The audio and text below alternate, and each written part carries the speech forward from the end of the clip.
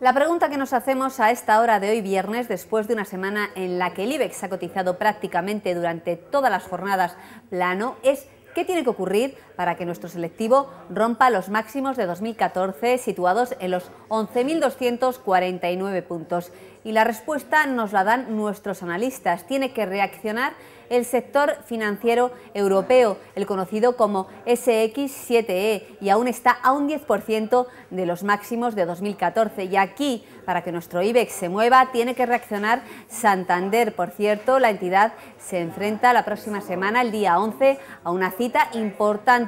Se conocerá la segunda parte de los test de estrés de la FED. Anoche sabíamos que ha aprobado la primera parte, pero se especula con que podría suspender la segunda parte. En cuanto a las opiniones de nuestros expertos, una más pesimista y otra más optimista. César Nuez de Trader Watch dice que aún tenemos que ver una corrección buena y que desde luego no es momento de entrar en el mercado. En cuanto a José María Rodríguez, apuesta porque claramente se van a romper los máximos de 2014. En cuanto a la pregunta de si antes vamos a ver una corrección hasta niveles en torno a 10.600, dice que podríamos verla, pero que no será algo significativo, algo que tenga importancia sobre todo para los inversores más a largo plazo.